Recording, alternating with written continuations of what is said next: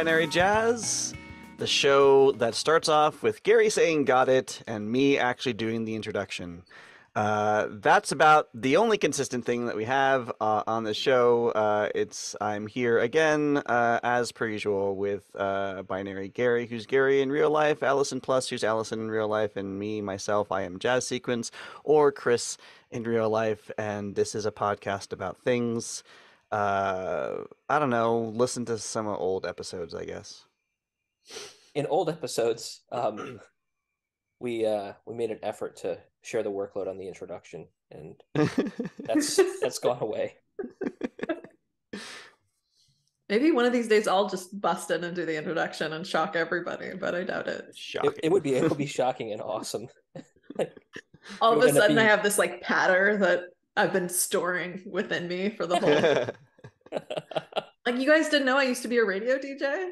Jeez. I I constantly whenever so so at my work we have these like we use Donut the Slack the Slack bot app thing which like pairs you with somebody else and Donut's gotten pretty good where like it'll actually look at your schedule like when Donut first started it didn't actually look at your schedules so if you had like vastly different time zones like it would pair you with somebody in India or Australia at time and it wouldn't and and now it'll try to pair you with with people who like are within your working hours generally or and it will give you automatically give you times that you can like just click on a button and it will add the event to the calendar um, so so we do that and I, I, I do them fairly uh, regularly and whenever I do them everybody always compliments me on my microphone which you know since I do the blur effect on on my background you can't even see my microphone We just Uh, thought you sounded like this naturally. yeah no it, it's it's like oh wow your audio sounds really good Welcome. Welcome I, I made the Binary effort for a little while with a microphone, and then I find that I would prefer meetings standing up and pacing when I'm not on camera, so wireless headphones, or um, if I'm on camera, seated in a comfy chair. I uh don't take too many meeting too many meetings, so That's a better strategy, much better strategy. That's yeah. That's my my strategy is to just go through the whole day without saying anything and then emerge and my voice is all scratchy because I haven't talked at all. I ran into one thing the other day where someone was like, "Can we meet on arbitrary day Thursday?" And I'm like, "Yeah, I, it's going to be tricky for me because I've got a lot of meetings. I've got like a 9:30 a.m. and like a 2 p.m." And they were like, "What?" They're like, "I literally have eight meetings scheduled on Thursday already." I'm like, "Yeah, that sounds like it sucks." so uh the point that I was trying to get to, which I forgot then before I Oh. got to the point, was that everybody asks me if I have a podcast. Uh, Oh. so like now and I, I kind of do feel like uh You need like a little runner across the bottom that says, "Check out my podcast." yeah I, I well like I kind of feel like the podcast at this point is justifying the microphone because uh if we didn't have it like i mean i, I s- would still have the fancy microphone uh, but i wouldn't be using it for anything important and i could just use like airpods or I'm something gonna get a boom. I'm gonna he get a thinks we're important. I'm gonna get a boom mic on Amazon, Bluetooth with like a nice boom thing. That's what I'm gonna do. I just pictured when you said boom mic, I just pictured you making one of your, one of your kids like hold the Overhead. hold the boom while, while like follow, following you around during the meeting. I guess that's not what I mean then. I like the headset thing. Yeah, Is the headset. Is this not called a boom? uh it's well it is a boom but i don't think it's called a boom Ooh. like Yeah, that te- sounds like part of like a. I mean, lyrics from a technically rap song. speaking, in terms of like what the apparatus is, it is a, Yeah. it, it would be like in filmmaking and audio, it would be referred to. I mean, it would be a boom because that's what it is. But I don't think it's called a boom when it's coming out of your headset. like squares or parallel parallelograms, but not all parallelograms. Yes. so I gonna look at one of those maybe because my the current headphones I'm using are um. Uh, I think they've reached end of life. They work really well for hearing, but when I connect for t- like the first three or four meetings of the day, I spend like five minutes every time trying to convince my computer to use the Mhm. microphone, and uh, and ultimately I end up having to plug the darn things in sixty percent of the time these days. So, like it's I can't pace in meetings when I have my headphones plugged into Yeah. the computer. That's not going to work for me. My kids uh have been using so we did uh we like you rewind. Um my kids wanted head headphones for like gaming and like chatting with their friends. and historically, like it, once upon a time, they would be like just find something on Amazon and get it, and they would find something on Amazon and they would get it and they would buy it, and it would literally break in two weeks. Mm. Um, and my daughter did this a bunch of times. Like she went through like a shit ton of headphones for a really long time. Uh, and uh, my son, like I did some research and I said, hey, here's like four or five things that I found on like Wirecutter, and then I like cross reference with things on Amazon, and like these are super expensive, but there's a uh, you know a, a lower grade brand, uh, a lower grade model from the same brand that might be okay. Um, and so what he settled on was HyperX. Uh, and then my daughter is using a an older version. I mean, she's it's it's now like the second iteration of this particular model, but it's basically like the the headphones that he was using previously, and he upgraded, and she's using the older one. Um, and they both seem uh, to to like those, and and I think they're pretty decent quality. They're not like JBLs or anything, but they're you know they're good enough, and I think the audio quality is fairly good. Um, that is helpful. I will look at HyperX. But also like there's Wirecutter stuff on on that you can look it up. I was just going to ask, can you just share your spreadsheet? Do you not have a spreadsheet. Okay.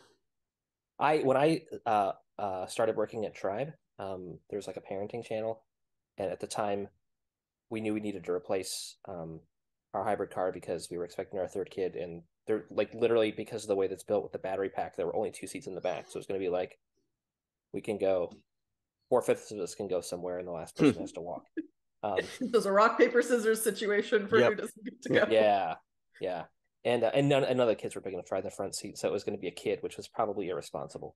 So anyway, um, I'm like, yeah, you know, we're looking at, you know, this and this, and this strategist was like, oh, here, let me share my spreadsheet with you, and had a spreadsheet of like every current major vehicle available by manufacturers in the U.S., SUV and minivan. I mean, it was like, I'm not joking when I tell you that there were like probably 20 to 30 hours worth of work in this spreadsheet.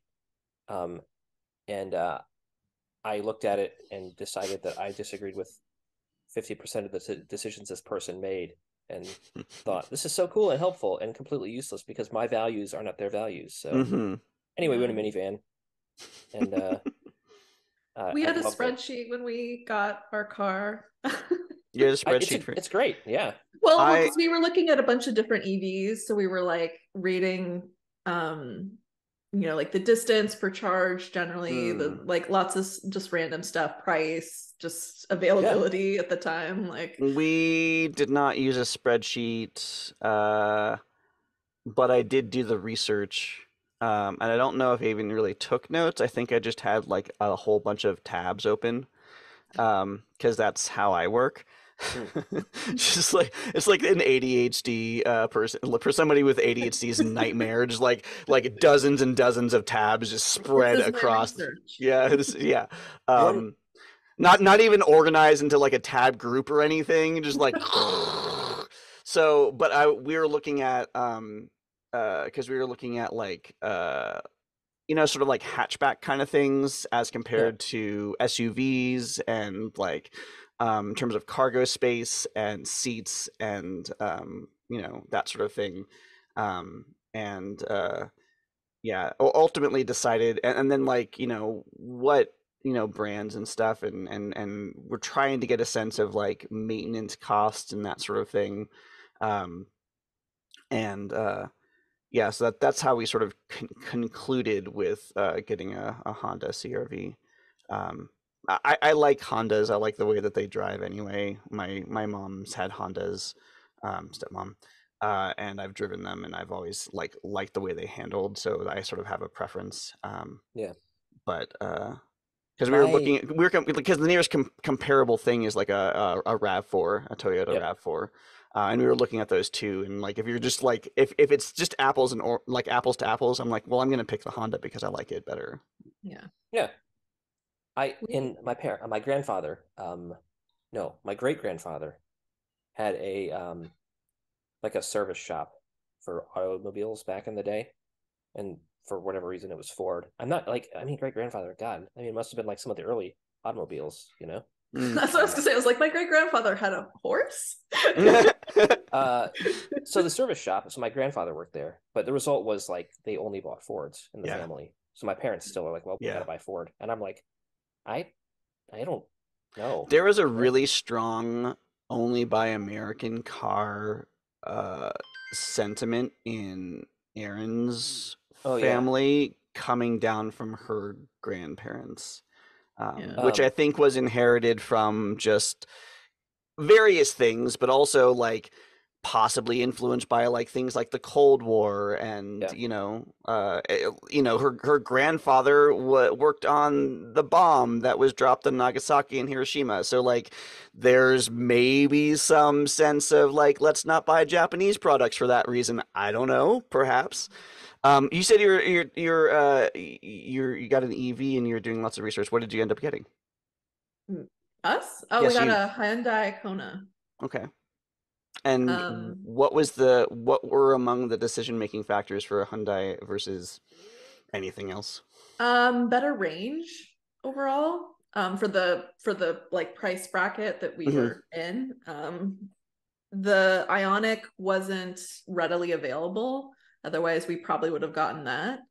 Um, which is kind of like, I mean, I don't know. I think of it, of it as like the next step up, but Mhm. also like like brand wise or type wise we've never had neither of us have ever owned a car so we're kind of coming in just being like we're fresh we're new Yep. what, what are we doing um and we wanted something that had enough room like it's just the two of us most of the time so we don't really have to worry about that and so we wanted something that like the back seats folded down and we'd have enough to like bring a cooler and camping stuff and like stuff of that nature What is the Um, range on it?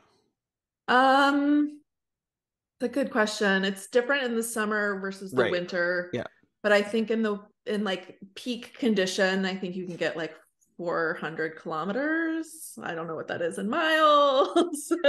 Hold please. Like two sixty ish. Two, like yeah, 250 miles. I I if Robin listens to this and I'm wrong, he's just gonna be like, oh, you're not Uh, good- a a good advertiser for the EV. but anyway it's it's plenty of plenty of range for us because even on a road trip we're stopping for lunch and we can charge or Yeah. whatever. we we had the Chevy Volt for a while, which I loved. Um, Mhm. and this was this was years ago, so like true EV options were just pretty limited. Um, Yeah. And this, so with the internal combustion engine, um, you know, you you could like put a tank of gas in and go, but charging it, you, you, it was battery first, so you charge the battery, Mm-hmm. and we got like 35 miles of range on a charge, and then it would fall back to internal combustion engine. Right. But for like taking the kids to school in the morning and picking them up, like we would go for like weeks and weeks and weeks, maybe months without the engine starting. Mhm. Um, and it actually had a maintenance setting where it would start the engine if it had been too long, just to keep things moving. So you'd be driving, you're like, I have plenty of battery, and the engine would turn on, and it would tell you in the screen that it was just doing engine maintenance. It's like you know, It's like I just need to to check on it to make sure we're okay. Yeah, is it still there? I need to check check make sure I'm still alive.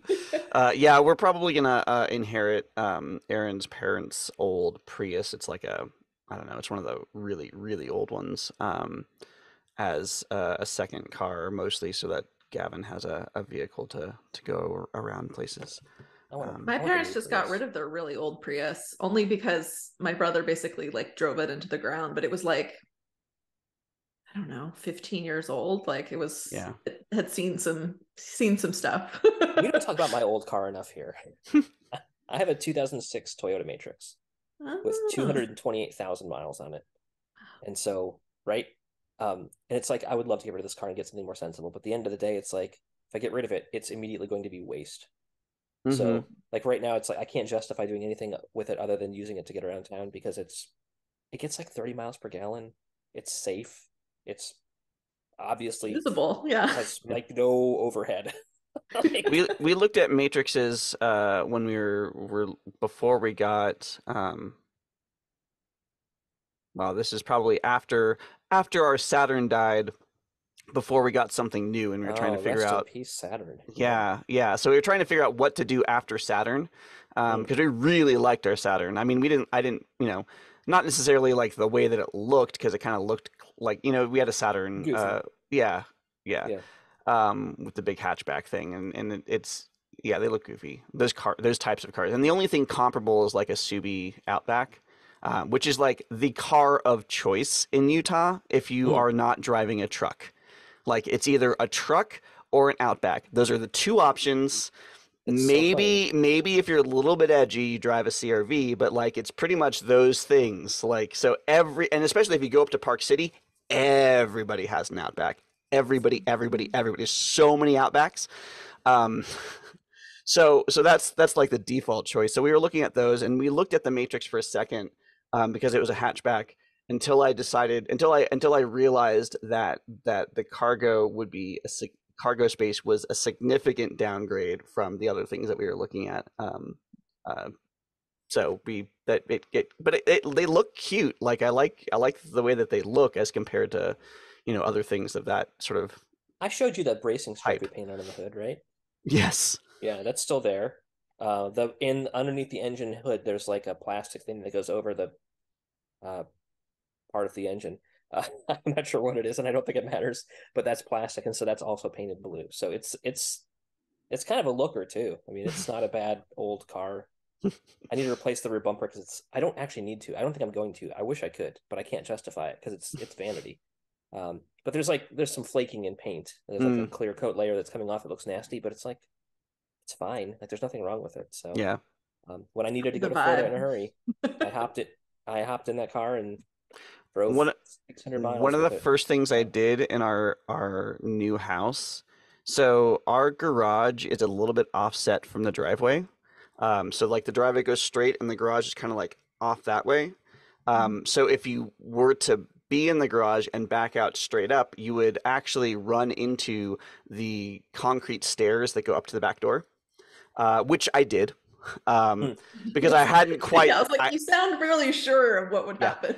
uh, I hadn't quite mastered like how much to turn, and like I think I was doing that alongside also like closing the garage door, so I wasn't maybe looking for half a second. Um, and so and so yeah, and like basically the entire car is made out of plastic. Mhm. Um, like all of the parts are plastic. So what actually happened instead of it getting like scraped up and dinged and like like body work that could be like hammered out or something, what actually happened was the plastic. There's a whole big ass rear plastic piece that kind of wraps around the back, uh, and it's held in by like I don't know, like uh, sort of like those kind of. I imagine it's like you know those those plastic like pieces where you've got like a slot and there's a thing that goes through the slot and it has like a sort of like thing that pops out on the other side so like it doesn't come out when you pull on it kind of thing where like you would like push it in if you wanted to like put it you know like that sort of thing. I think it's got something like that. So it popped out of those things. So now I've got like a little flap. Uh, like I was able, it did bend it, but I was able to pop out the bend, and now it just has like a section that's kind of like like a little flap sticking out of the back and a, little, a few little Yeah. scrapes.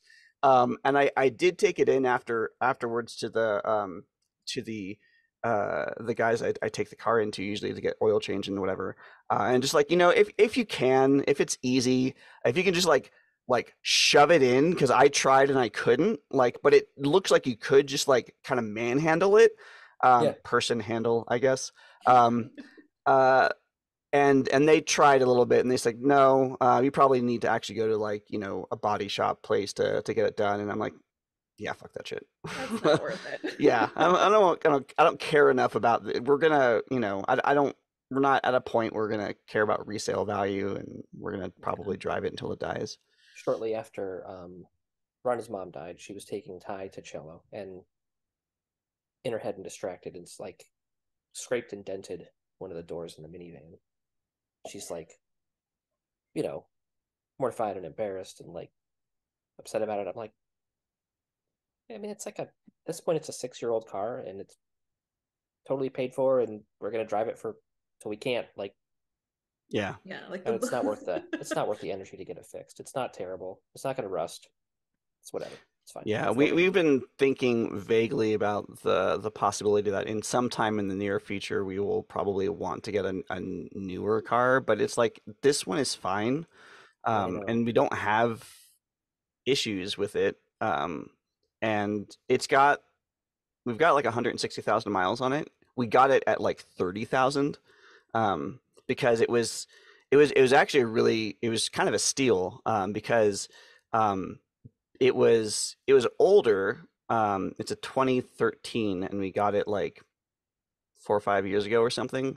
So it's a little bit older, but like the they said like the you know the person who at, who owned it was like you know little old lady who never went left town, and that's like that's like you know Erin's dad likes to like give, you know, lots and lots and lots of advice. And one of the things that he's always said about like buying a car is to find a car that was previously owned by a little old lady because they don't use it. And then they'll go and then like just trade it in for something newer because it's newer and because then just drive it around town and, and that's fine.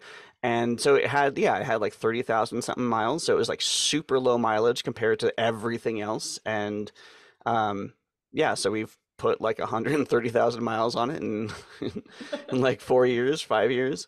Uh, um, so yeah, I, I do feel like at some point it'll it'll die, but it hasn't come near that. It's gonna be a 130, while you're just before. getting started. Yeah. I mean, the way they make engines these days compared to when we were first driving. Well, our our old CRV died um, because um, well, we think that it was a uh, we think it was a flood victim. Uh, we think that it was because we knew in looking at like the car history, it came from the East Coast. Um, it was like previously owned in New York or something, um, and it was sold at an auction.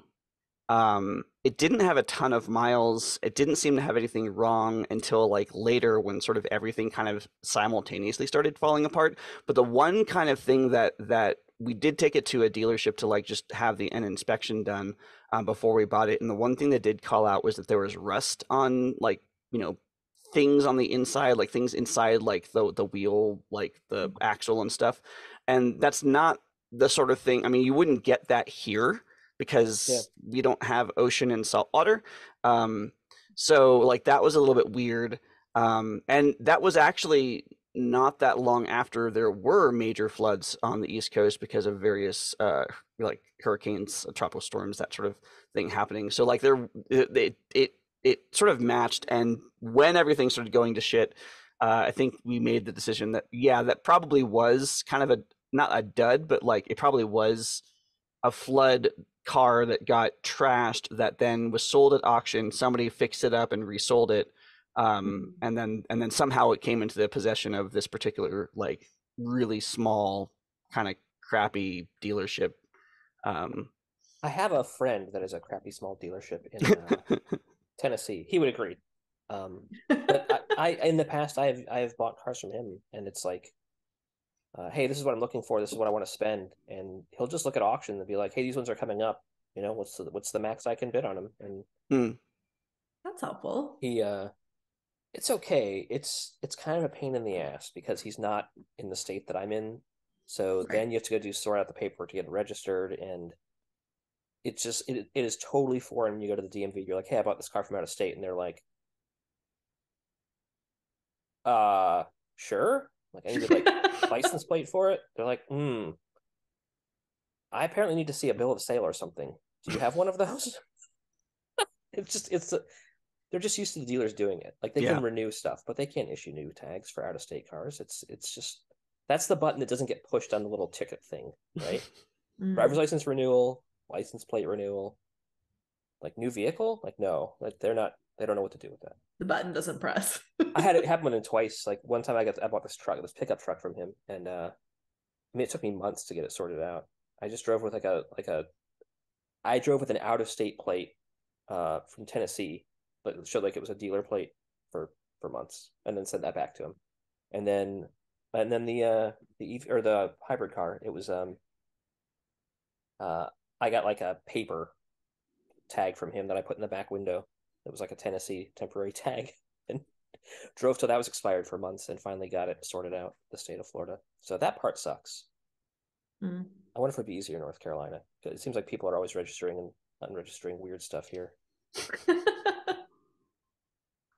We have a um I don't know if this is true for other states, but there's a particular type of vehicle registration you can get if your car is older than a certain number of years. It might be like a 50 year threshold or something. So then you get like this special plate that has like this this like vintage first gen like Ford Model T kind of like icon on it, like in the special plate thing.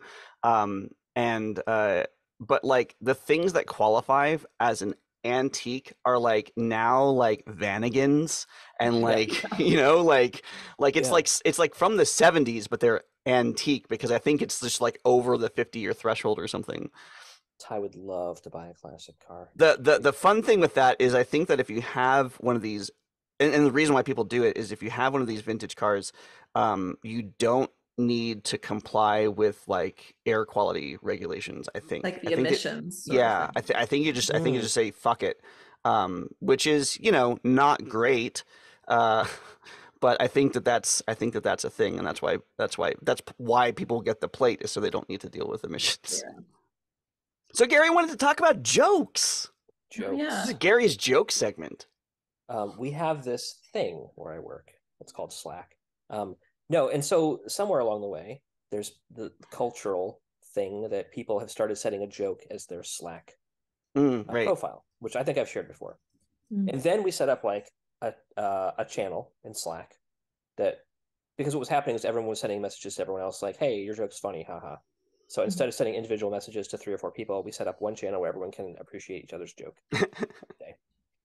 And then I uh was down uh, in Florida and I was like, I am going to write a Slack bot for this. And so I Wait, Hey, sl- wait, a Slack bot for saying that's a nice joke? no, it Oh. captures That's what I thought joke. too. And so there is a a small page that just lists all the jokes that have been sold, and I'll drop a link, in the, so we can use that in the show notes. Um, and in addition, it has Slack commands, so you can see stats on how many people have shared jokes. There is a shamer that uses um, text Levenstein distance to figure out how similar a joke is to another joke, and it can Oh. say, "Hey, that joke's already been sold uh, told on such and such a date." Um, or no, wait, sorry, that joke has already been told by such and such. Maybe you forgot because it was X days ago, and then the eye rolling emoji. Wow. Oh yeah. So there's a shaming component. And uh, where I'm going with this though is I added a slash command um, that uh, you just type slash LRP one rock point uh, joke, and it will tell a joke from a joke API that exists out in the wild. So we were finishing a meeting today, and someone said maybe we can close with a joke. So I was like, "Oh, this is great! Great use for the slash command." So I typed slash LRP joke, and it was. Um, let me go look at the joke. Hold on. I forgot what the joke was. It's I, the joke itself is, is actually important, but uh, the joke is. I was like, what's was it the most horrible joke in the world? No, no, I'm Are are, no. are these there are all very vanilla jokes, which is okay, great. good. I was going to ask are there or are you thinking of cuz I know that there's other joke APIs that will specifically give you like dirty jokes or joke of a certain type or whatever like they're in categories and I, I, is that a thing that is I on picked, the feature roadmap of this Slack bot? I picked an API that is um like clean dad jokes, like groaners. Yeah, okay. Because that's that's the way we've been going. like puns, yeah, fun. Yes. Yeah. So it said, "What's a pe-? uh, So I asked, "What's a penguin's favorite relative?" And then I accidentally hit the mute button, and I answered, but no one heard me. So they thought I was just putting like a really dramatic pause in. And after like, I was like, "Wait," and no one like laughed. I'm like, "Oh, okay." So I really, was waiting. really too. rough crowd. So it was just like total silence because I didn't realize I muted before I get the punchline. Um, so finally, someone was like, "Are you are you gonna tell the punchline?" And then I realized I was on mute, and it was like this 15 seconds of just total silence. Everyone was awkward about it, and I unmuted. I said, "Antarctica," and and at that point, like it wasn't funny anymore because it had been so long, like now. and and and like people like didn't even say goodbye, so people just like left. the dramatic buildup was way too much. Yeah.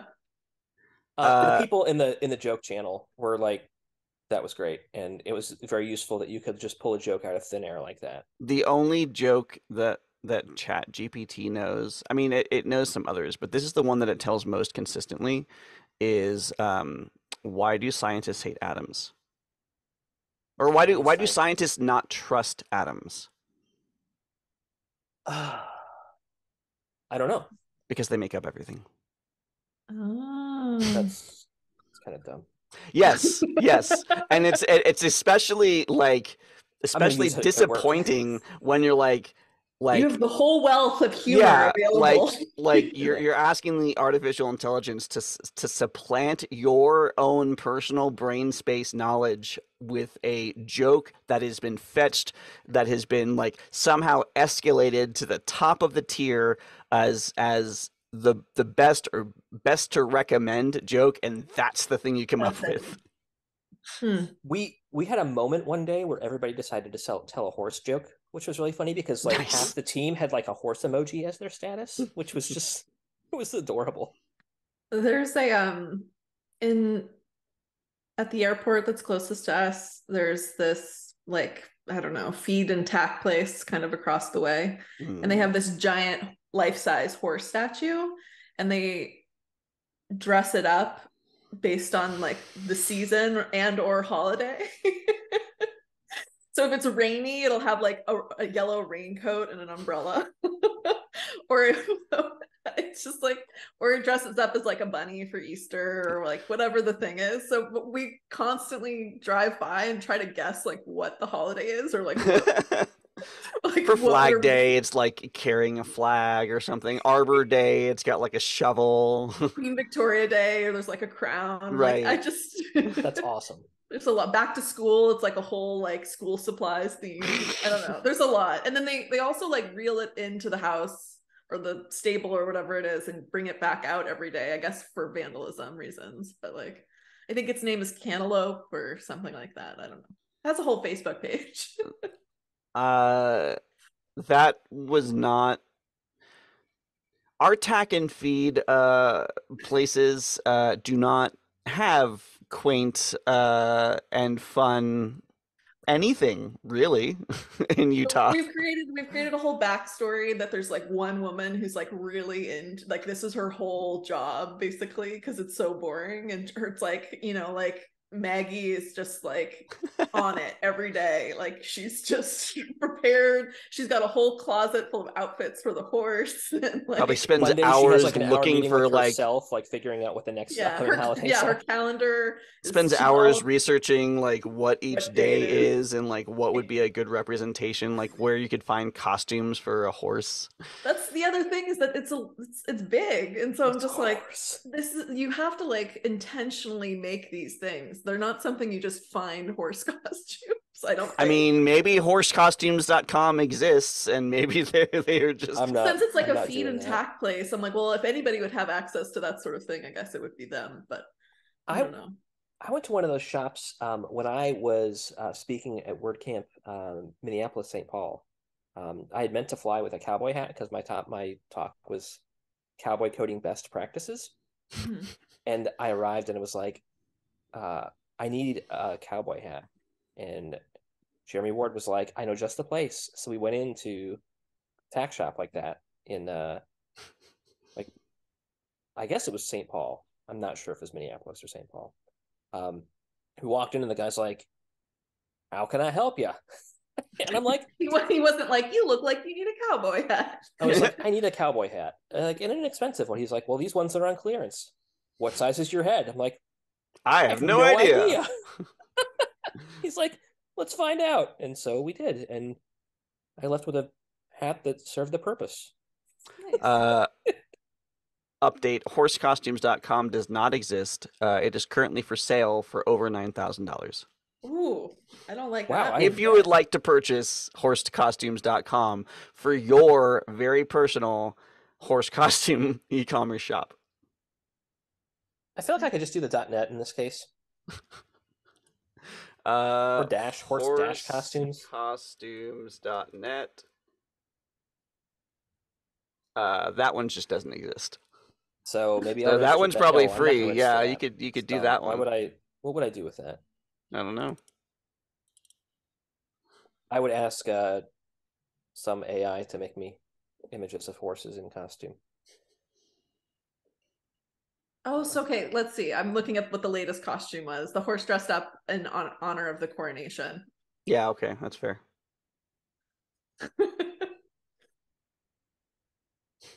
Wah, wah.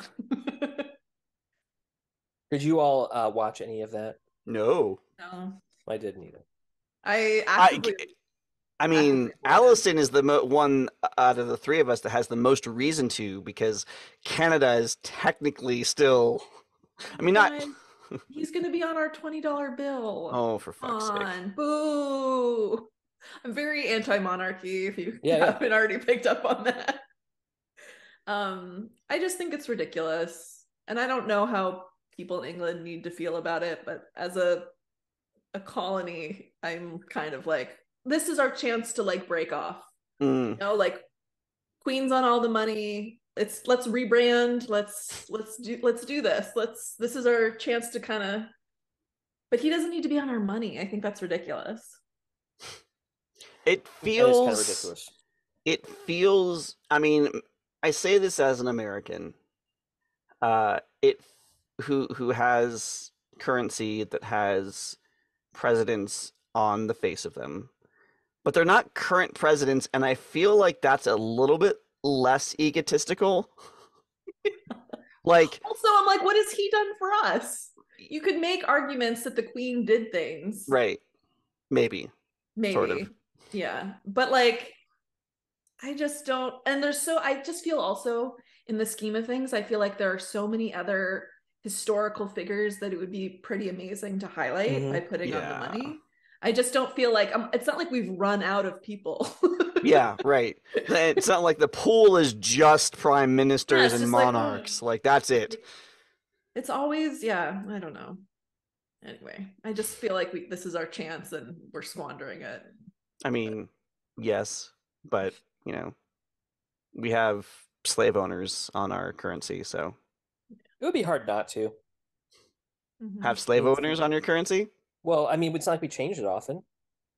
We like you put a person on there, it stays there forever. Yeah. So, I mean, because they're it- already dead so it's not like you remove them when they're done they're gone I would like to propose that to people. Why, why can't we put living people on our currency? I'm gonna start asking people that. That's well, gonna be one the of my other like. thing i was like party charles is still around now yeah, Like, but who would you put on it? Like Elon now? Musk? Yeah, like No, michael jordan Michael Jordan. That'd be good. I, I, would- support a Michael Jordan like five dollar bill. oh, who who did the um, the poet laureate? Um, Oh, what's her name? I would put her on a bill. Yeah. Mm, yeah I can't believe I can't remember. I her name. mean, like, there's also an argument like you could do different people on the same. Thank you for listening to Binary Jazz. If you like this episode, you can subscribe to us on iTunes, Google Play, Spotify, and Stitcher. You can visit us online at binaryjazz.us or follow us on Twitter at, at binaryjazz. Special thanks to Serpiente Negra Ensemble for the use of their tracks for our intro and outro music. You can find them online at serpientenegra.bandcamp.com. Don't forget that you can ask us a question through the forum on the website or on Twitter, and we'll read it aloud on the next episode of Binary Jazz.